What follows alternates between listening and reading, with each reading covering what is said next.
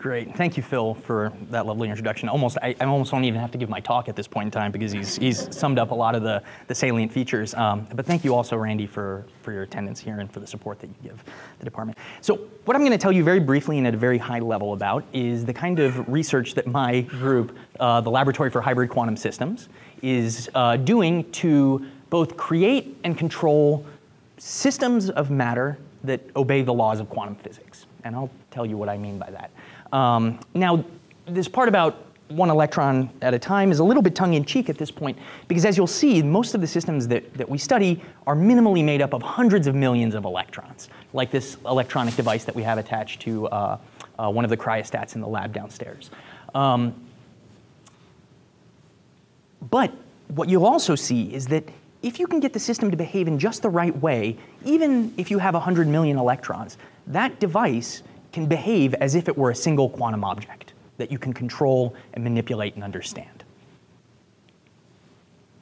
So that's a little cut off. But, um, the, you don't have to be a physicist to appreciate quantum physics. Um, it's absolutely everywhere. And I don't mean in the, in the atoms and the electrons in the chair that you're sitting in. I mean specifically in pop culture.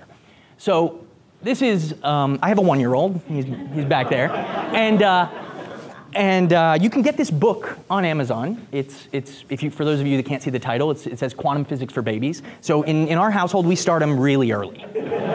Um, the, another place that, that you might interact with the quantum world is in video games. So I don't know if you're familiar with the video game Minecraft. Some of you might be. Um, there is a module that you can get for this video game that uh, teaches you the laws of quantum physics. And this was actually developed by some of my uh, friends at Caltech.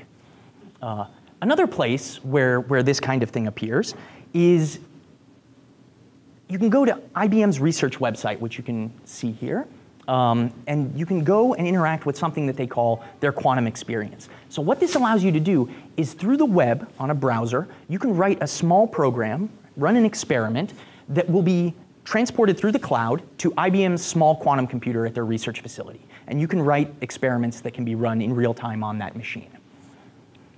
And finally, I want to highlight this, this cover of the Technology Quarterly, which appeared in The Economist on relatively recently, March 2017.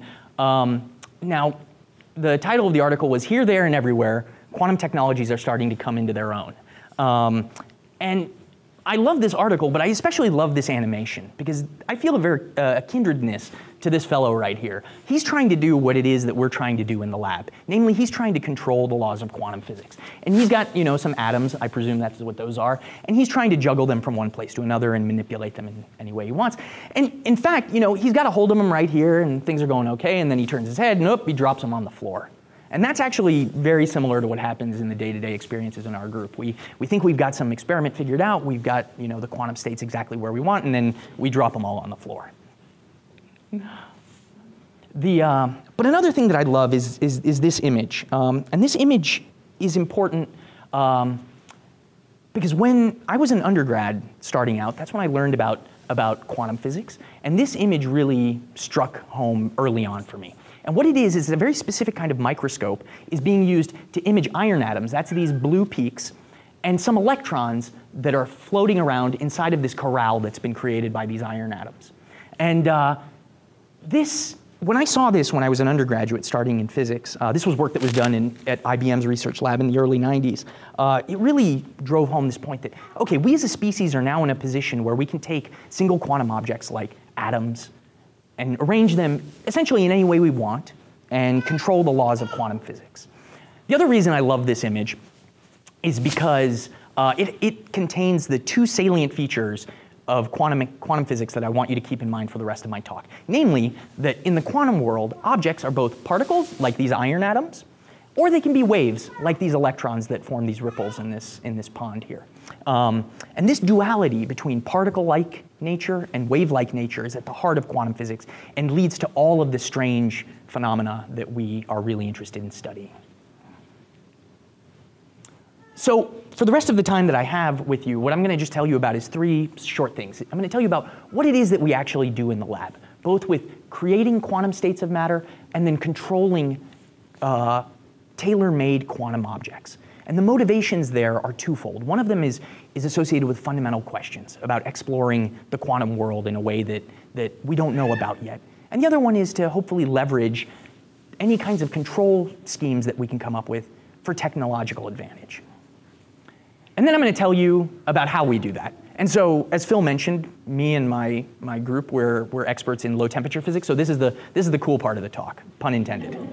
Um, and then I'll just close the loop quickly and remind you about why it is that we, we want to both create and control quantum systems.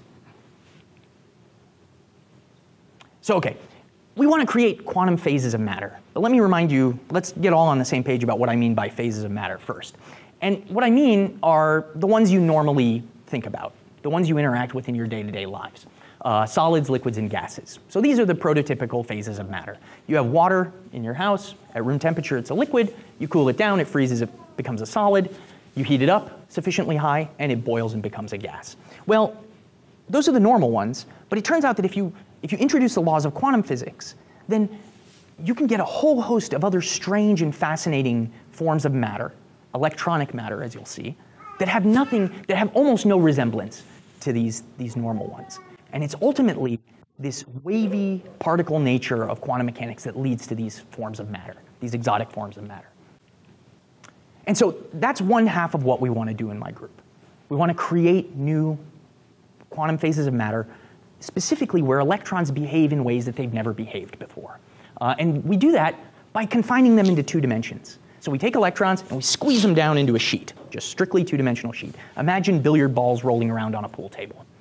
And the reason that's important to squeeze them down is remember, quantum mechanics, quantum physics has this wavy nature to it. And so when you squeeze these electron waves down into two dimensions, it allows you to control exactly where the peaks and troughs of these waves are. You can get different electrons inter interfering and interacting with each other in ways that lead to a whole variety of strange forms of matter. So you can get fluids in which these electrons get chopped up. They're not, these electrons don't behave like the electrons that you learn about in high school or in college. They, they get chopped up into pieces, say a third of an electron. So you have a fluid where the electrons are broken up. Or they can, if you get the interference to work in just another way, they can form these large liquid crystalline states where you have many thousands of electrons working together. Or you can freeze them in two dimensions. You can get electronic solids. This is just a, a, few of the kinds of states of matter that already are known to exist, and we're looking for new ones in these systems. And so one place where we look for those is in, so we have to somehow now get electrons to be in two dimensions. One way to do it is to get a semiconductor layer cake. So this is a little sample that has a layer cake of different semiconductor materials. In one of those layers, electrons can get stuck in two dimensions. So these are, these are one way to realize this kind of material. Another one uh, is shown here, uh, and this is uh, a device where we take a single sheet of atoms, graphene in this case, and we attach electrical leads to it and measure its properties. But the graphene itself, it's one atomic layer thick, and the electrons flow along that layer. And so that produces the two dimensions we need. And then the other one is a very exotic state that we can create ourselves in the lab. And it looks like this. So we have a layer of liquid helium onto which we can just sprinkle electrons. Well, my grad students and postdocs do this. I don't do it so often. Um, but those, those electrons land on the surface and they actually float above the surface and are bound there. And they can move around in two dimensions on that helium surface. And so these three, these systems are all different, but the common thing that they have is this two dimensionality. And that allows us to, to create these new kinds of quantum phases of matter and to try to find them here. The other aspect that we're really interested in doing is trying to control single quantum objects. And these are going to be electronic devices also. But before we get to that, I want to show you the simplest of all quantum objects this purple ball. So this purple ball is a quantum object because it can either live here at this level, which I've called zero, or it can live up here in this level one. Now, um, the wonderful thing about this purple ball is that it can't, it can live here or here, or because of the rules of quantum physics, it can actually live in both places simultaneously. And that's completely counterintuitive, but that's, that's at the heart of, of what makes quantum physics interesting. And so when I say we want to control it, what we want to do is be able to move it up here, move it back down, or create a situation where it exists in both places at once. So we don't actually have a purple ball in the lab, but what we do have is this. And so this is a box that it's made out of aluminum and it has a slot that's cut into it. And if you look right here, there's a little chip that we place inside of that, that aluminum box. And if you zoom in, what you see is this nanofabricated electronic device. So this is only two micrometers in diameter, or in, in width. And uh, these kinds of devices we can fabricate in the world-class uh, cleanroom facilities that we have here at MSU, the Keck uh, microfabrication facility. Um, and so, but it turns out this, this circuit, it's an electrical circuit, it behaves very much like this quantum ball. We can put it in a state that is in a level zero or a level one, or we can mix and match and create a situation where it exists in both of those situations simultaneously. Um, and we do that by shining microwave signals into and out of this box. And uh, here's just an example of some of that data. It's cut off here, but what, what this data shows is the probability of this circuit either living here at zero or here at one. And as we, as we change the, uh, the control using these microwave signals that go into and out of the box. And uh, you can see it at zero time, the thing lives here in, its, in, in the lower level, and we can control the situation where we mix both of these quantum states together with high fidelity. Okay, so in order to see these kinds of quantum effects, we actually have to torture these systems pretty dramatically. Um, and the most important condition that we have to subject them to, Phil already mentioned this, is extremely low temperatures. And so we do that in these large apparatuses that we have down in the lab. This is called a cryostat, but it's essentially just a refrigerator, a fancy refrigerator. And we can achieve, if you, if you take off all of these shields, what you find is this gold-plated platform inside that we can attach experiments to and send uh, sensitive control signals down into the experiment. Um, I'll mention that this, this large superstructure was uh, made here at MSU in the physics and astronomy machine shop. Um, and uh, the temperatures that we can achieve here are very close to absolute zero, the coldest that you can imagine, uh, specifically about 10 millikelvin. To give you some idea of how cold that is, the air that you are currently breathing is a gas. At some point in time, it will, it will become a liquid, like water. And at these temperatures, it's a completely frozen crystalline solid. Everything except quantum physics is frozen at these temperatures. And the importance of having these very low temperatures is because heat and temperature completely scramble these very delicate, fragile quantum states that we want to create.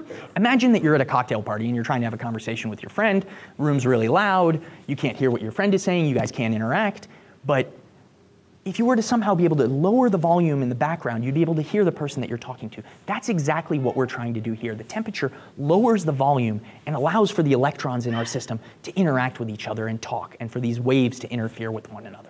And then we can see this kind of physics. Now, just to give you another demonstration of how cold this is, the coldest place outside of the laboratory that you can imagine is interstellar space. But that's a balmy 2.7 degrees Kelvin, hundreds of times hotter than, than the temperatures that we routinely achieve in my lab. Um, you shouldn't put your cat in outer space. It's not, yeah. So we also need very large magnetic fields. And again, the magnetic field here we, we apply is about 14 Tesla. It again lives here. To give you some idea, this is about uh, several hundred thousand times larger than the Earth's ambient magnetic field. And the reason that we need such large magnetic fields is again because we have to squeeze these waves, and the magnetic field allows us to, to manipulate the waves of the electrons in just the right way to produce this quantum, these quantum effects. Um, the other place that you may have experienced large magnetic fields, if you've had an MRI uh, at a hospital, they have large magnets, several Tesla, two, three Tesla is the, the field. So we have 14 in, in the lab.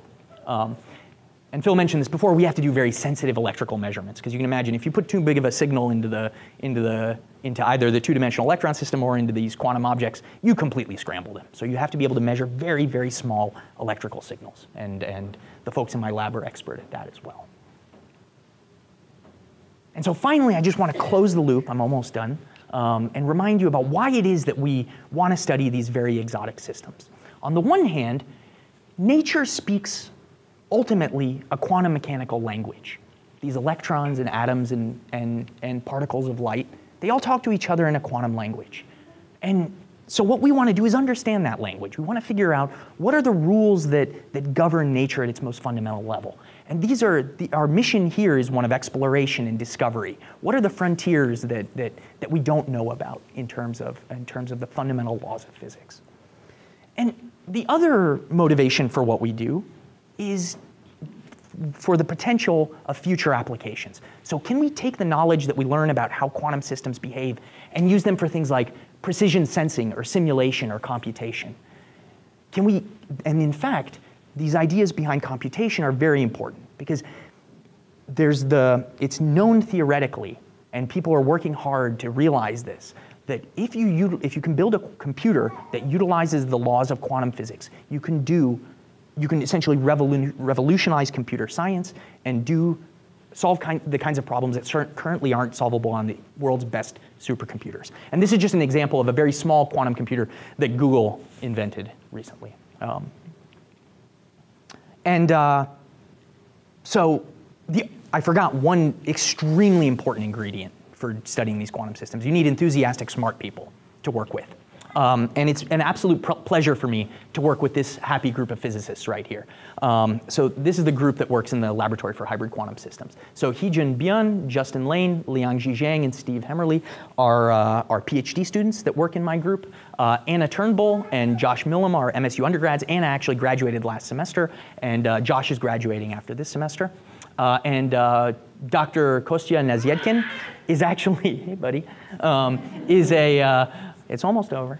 Uh, the Professor Kostya, uh, uh, Dr. Kostya Nasyedkin is a world-leading expert in studying this really funny uh, electron system that can form on the surface of liquid helium, and he joined the group this last summer. Um, and finally, I just want to thank, uh, that's the end. Uh, so thanks to all of you for listening and thanks to my collaborators uh, on these various projects. Um, and uh, in particular to Professor Mark Dykman, who is my partner in crime when it comes to trying to understand these uh, electronic states on the surface of helium. And in particular, uh, none of this work would be possible without, without you know, financial support to, to support us. And so I want to specifically thank the National Science Foundation and also uh, the collaboration that we have with Dr. John Reno at Sandia National Labs, which is uh, funded by the DOE through their Center for Integrated Nanotechnologies. Uh, and last but absolutely not least, thank you, Randy, for the support that you provide to the department and also to, to my group in particular.